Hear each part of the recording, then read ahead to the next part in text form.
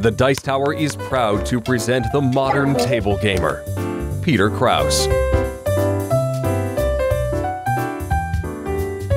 Hey gamer friends, Pete Krause here with Modern Table Gamer, and today we're going to look at the rules and gameplay of a game called Desktopia. But uh, it's not really what my game says, but trust me. Uh, this is a Russian game published by Hobby World, designed by Timofey Bokarev and Konstantin Seleznev, uh, released in Russia and soon to be a Kickstarter game in the US. And it is a dexterity game and different.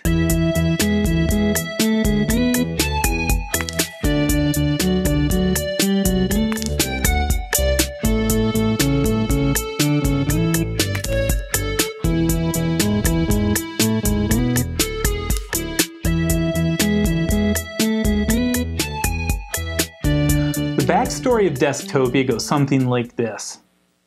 While you're away, the warriors of the Order of Fire, Grass, Metal, and Dust come alive and battle it out on your tabletops, desktops, and floors in the form of discs. So we get to take control of these discs, make teams out of them, and duke it out by carefully aiming your flick. So your team's goal depends on if you're playing a constructed mode or like a campaign mode. In a two-player constructed mode, which is really fun, that's what my son and I have been playing, victory is awarded to the last team standing. And then also there's a book, grab it here. It's our script book, which I'll find the first page. All right, so we have this Desktopia script book that's got a whole bunch of different scenarios that you can play that's a lot of fun. They have a lot of three and four player uh, scenarios in the script book that make a really balanced game, and that's kind of fun as well.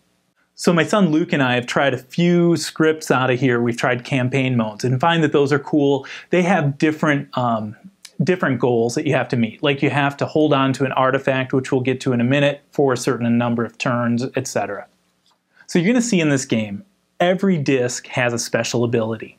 And I think this game doesn't really focus in, as much on your you know precision dexterity. It comes in handy and it's going to help. But a lot of the game has to do with your tactics and strategy using the abilities on your cards. Now we'll see with my uh, pretend game here if i can remember those because sometimes when the camera's rolling i can't remember everything that happens. I forget stuff the basic premise of this game is simple. When you flick a disc at an opponent's disc, you inflict one damage. Some special abilities allow you to inflict more damage, but we'll get to that in a bit. Fighters, as we see here, they're the smallest character, and they only have one life point. They get hit one time, like this, and they're removed from the game. Veterans, are a bit bigger and they have two life points. So I'll take my veteran, Ezen, and my fighter, Elemental. They have two life points. They get hit once. They flip over to expose their wound side. You can see this little drop here. And if they get hit again, then they're removed from the game. The heroes are the biggest character discs, and they're worth five or six life points. And this depends on what's shown on their card. On the left-hand side, you have this little handy heart icon. And in this case, my hero's name is Karu. He's with the Order of Dust, and he's worth six life points. When they take hits, basically you mark hits. So if he gets hit by the elemental, boom. He gets a damage marker placed on his card. When he's got damage markers that equal or exceed the life points, then he's removed from the game. On your turn, you get three actions where for each action you could flick one of your discs to get a better position. You could flick a disc to hit one of your opponents, or flick a ranged attack missile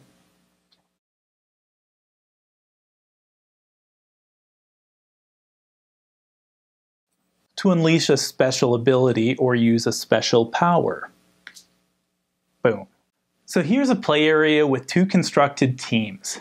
Your team's made up from a pool of fighters, veterans, and heroes, and you choose from one of the four orders grass, metal, dust, or fire, or a combination of those orders. So you're going to choose those discs that make up your team based on the skills and abilities that you want in your strategy. It's kind of like building or constructing a deck in Magic the Gathering where you're going to find cards that have synergies together. The abilities and powers work well together. Or if you're putting a team together of like a miniature team like HeroClix or something like that.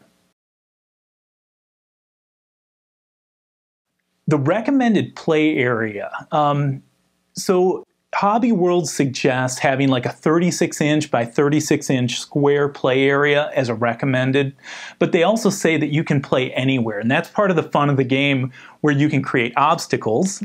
Like you see, I have here, I have these two little card binders from my Star Wars The Card game. Um, these two binders here are making up some obstacles. You can hide around them, make ranged attacks around them.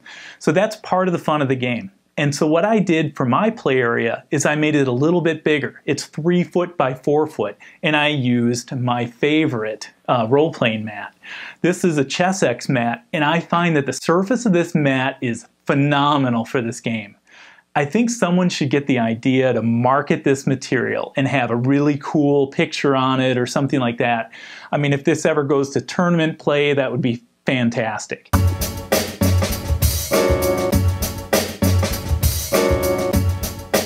So let's get going with our game. We're to have orange start first. Normally you could do something like flip a coin and figure out who goes first. So I'm just to say orange.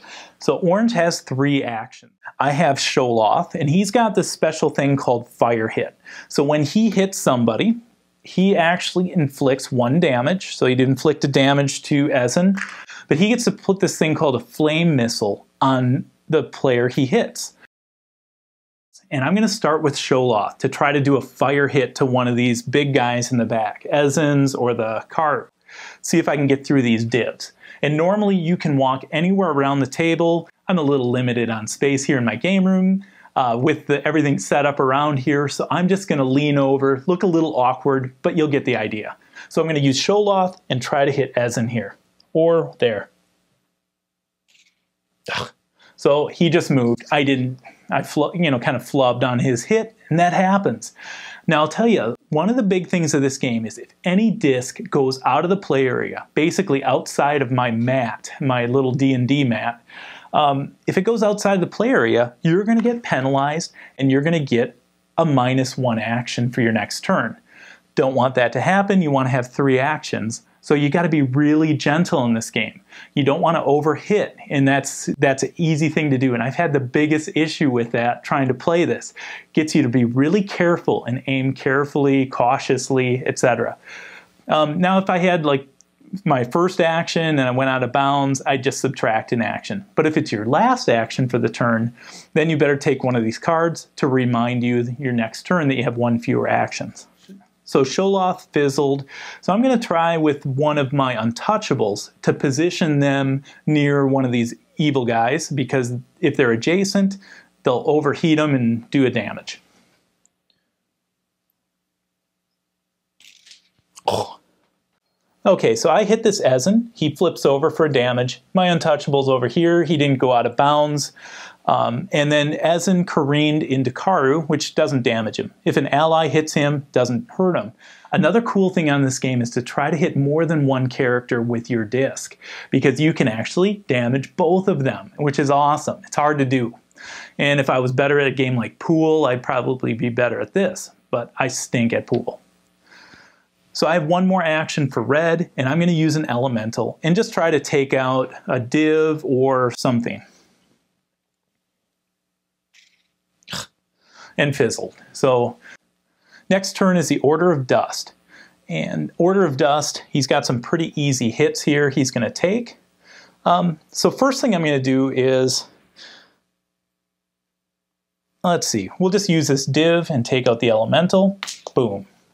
The elemental's gone. Now the elemental, he doesn't have any special power when he dies, so he's just out of the game. So Ezen here is going to try to hit Sholoth. and he does a damage. So now Sholoth gets a damage marker on his card. And one more action is Karu is going to try to hit this untouchable. He's not going to hit his power strip here, so he's only going to do one damage. And he knocks him out of bounds. So I'm going to take a time card for the Order of Dust. He's going to get minus one action to remind him next turn. And when a character disc goes out of bounds, he comes back in approximately where he went out of bounds. He's going to be damaged here. So Sholoth is going to hit Ezen, and he hits him gently, which is a great hit in this game. You don't want to be wild. So he damages him, and then he gets one of these um, scorching flames on him. So at the end of my turn, Ezen's going to die unless something happens. Now, if something bumped into this Ezen and that knocked that scorching flame off of him, he would uh, basically not get damaged by it. So that's a big thing. There's sometimes these missiles, you got to knock them off of other character cards. So that's one. I could hit this with the elemental, but I'm going to let that kill him. So we're just going to take and take this untouchable. And he hits Karu, he's not adjacent. So Karu is going to get one damage on his card. So Karu gets a damage, and now he's got five health left. Sholoth has four health left. Uh, another action, I have one more, and I am going to take an untouchable and send him up here. And he doesn't doesn't get adjacent. Doesn't hit either. So so at the end of the turn, this Ezen dies from the Scorching Flame. So he's out of the game. And black has two actions. So we're going to take a div, hit Sholoth, and does a damage to Sholoth. So he's got three health remaining. Take this other disc, see if I can hit two character discs at once. Wow. I stink. All right. So I lose an action, the third action of the game is gone. So now it's back to red, and red, again, we'll just take Sholoth and, and try to hit Karu. Because if I hit him, I'll put a flame missile on him. Oops, so I knock some guys out of bounds. And I get another, red's gonna get a time card. Tells us we get one less action. Karu still gets a damage for that.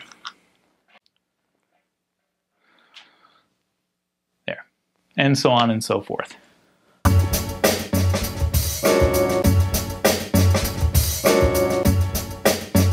So I got the two teams here, they're constructed. Each has three fighters, uh, two veterans, and a hero.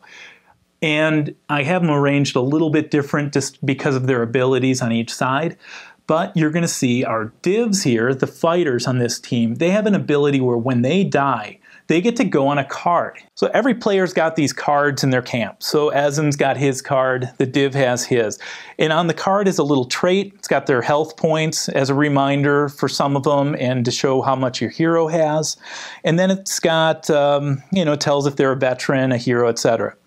But on these cards, um, basically when Div dies, he's going to get placed on one of the other cards and then if I hit someone with Ezen here, for instance, he would do an additional damage, and then this goes away.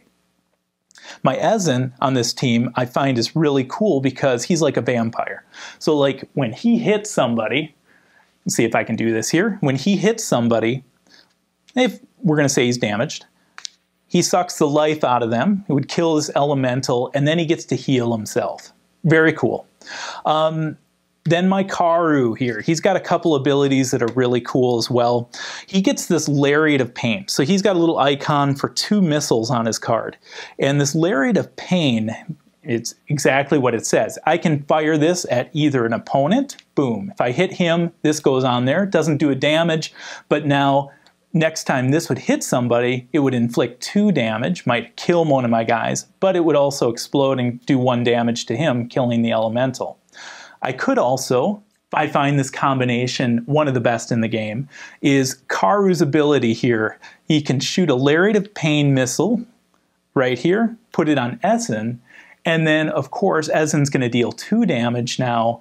And then when he takes the damage from the Lariat of Pain, um, he can heal himself, which is fantastic. Uh, the other thing Karu's got is you see this little red line at the bottom. That's a power, kind of like a, a power strike. So if I can flick the disc and actually get my finger to hit that red area, instead of Karu doing one damage, he's going to do two. So this is only one. So let's take the hero. So if I flick him, boom. Now Sholoth, this hero, gets two damage tokens on his card. So a couple more things I need to talk about here is how does an artifact work? This game's got these artifact tokens that you don't flick. Here I have the Fire Mine from red and the Smithy of Dust from black. Artifacts can be controlled by any color out there. So the orange team here, the Order of Fire, can control the Smithy of Dust, for, that's uh, the Order of Dust's artifact, and likewise the Order of Dust can control the Fire Mine from the Order of Fire. Basically, the artifacts have special powers that they'll grant your team. The Fire Mine will keep replenishing your missiles. Ajikara here, I switched our hero from Sholoth to the other hero is Ajikara. He has these three Wandering Tornadoes. And a Wandering Tornado is a ranged attack that inflicts one damage. When you flick it, you can actually flick it twice. You could have it go around a corner, you know, peek out from a corner and then flick it 90 degrees the opposite direction. So the Fire Mine replenishes your missiles. So when he's out of his three missiles, he's done, unless there's something like the Fire Mine that keeps giving him those missiles back. And so the way you control an artifact here is I could have this elemental hit the Fire Mine, very nicely done, which is the first time I've done that. And what happens is as soon as you hit that, if it's not controlled, you put your disc on top of that, and now you get the power from the fire mine. With our fire mine, the order of fire controls that. They're going to control as long as he stays on top of that. I can't use that disc now that he's on top of there. But now if the order of dust wanted to take the fire mine, let's say my div was here, I have to first hit the fire mine out from under the elemental. Now this is unclaimed. And then I would have to hit it again with one of my other characters. Like that. He went out of bounds, I'd get penalized, but div hit that, and so now the Order of Dust would now get that power. So that's artifacts. And then the last thing I'll talk about are rituals. You don't have to play your game with rituals, but they're optional. And rituals are some pretty cool cards. Normally it'd be something like, okay, we're going to shuffle this deck and everyone gets one ritual that they can use at any time during the game. And it's just basically an extra bonus that you can play when you need it. Like there's one for healing, uh, summoning, where you can summon one of your fighters or another fighter into the battlefield. It's pretty neat. Purification, discard any one missile that's mounted onto a character disc or place it on their card. That's a great one. Uh, teleport, well, you can move one of your discs somewhere else in the battlefield get the idea. So those are fun, and it's kind of one of those things you don't have to start playing with them, but it's neat to get one of those, like draw it before the game, or you get it for winning sometimes one of the campaigns. You get a, a ritual that you can use in the next battle in that campaign. So really like this game. Luke and I love playing it. Um, it's exciting. Uh, the games last about 10 to 15 minutes. If you have a really big battle, it's like 15 minutes. Uh, so they're really quick. Kind of reminds me of playing a nice uh, game of like Magic the Gathering where I get my butt beat really fast. Um, so hopefully you learn the rules here and uh, it's going to be coming out on kickstarter. Um, i got a nice review copy from hobby world i really like and if you want to get a hold of me uh, my name's pete krause modern table gamer and you can get a hold of me at moderntablegamer at gmail.com or leave some comments. I'll check them from time to time on the dice tower network Thanks so much for watching the Dice Tower videos. Find more great videos and reviews, as well as our top rated audio podcast at Dicetower.com. You can also find other great shows at Dicetowernetwork.com. I'm Eric Summerer, and you've been watching The Dice Tower. The Dice Tower is sponsored by Cool Stuff Inc., where you can find great games for great prices. Cool stuff in stock. Check them out at CoolStuffInc.com.